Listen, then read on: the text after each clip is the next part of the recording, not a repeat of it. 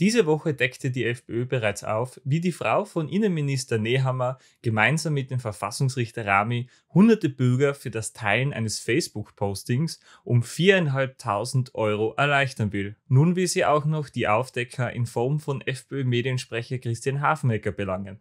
Naja, die Frau Nehammer klagt mich jetzt, weil sie der Meinung ist, ich hätte ihr unterstellt, dass sie Geheimnisse aus dem Innenministerium an die Firma Hygiene Austria weitergetragen hätte.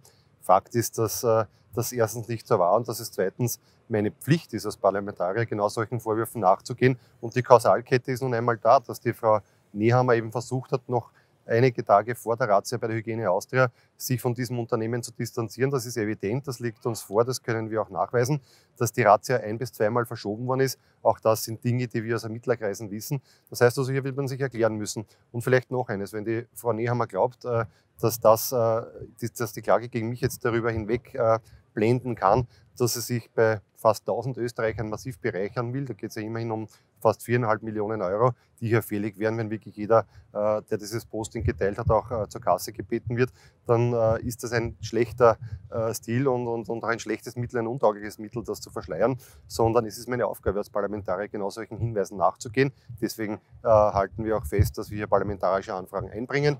Deswegen bringen wir auch eine Anzeige bei der WKSDA ein, die ist gerade in Ausarbeitung und ich lasse mich von solchen Dingen natürlich nicht einschüchtern. Und äh, wir haben ja auch schon gesehen, dass Amtsgeheimnis und ÖVP äh, insofern keine gute Kombination ist, weil sehr oft Amtsgeheimnisse von, der, äh, von ÖVP-nahen Personen herumgeschachert werden oder zumindest, dass auch der Verdacht hierzu besteht. Äh, wir kennen alle den Fall Brandstätter, Billner, Jack Deuner. Also auch hier gibt es den Verdacht, dass hier eine Hausdurchsuchung verraten worden ist. Warum soll das nicht woanders auch äh, eine Möglichkeit sein, dass die ÖVP Amtsgeheimnisse weiterträgt? Also das heißt, wir sind da sehr gelassen. Wir sind froh, dass es neben diesem äh, Korruptionsfall, der dann hoffentlich aufgrund unserer Anzeige bei der WKStA aufgenommen wird, dann auch noch ein zweites Verfahren gibt, in dem Fall halt gegen mich. Ich halte es aus, ich habe einen breiten Rücken und lasse mich von der Familie Nehammer ganz sicher nicht einschüchtern.